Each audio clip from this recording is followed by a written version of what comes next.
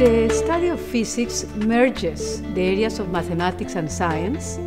Analytical skills, problem solving skills, and technical skills can be used in a, a variety of jobs, be it in science or in other fields.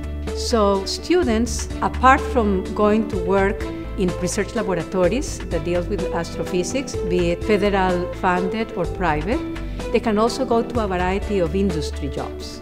Technical staff in aerospace in companies like Boeing, Northrop. Uh, we have even had students going to work in Kaiser Permanente to analyze data.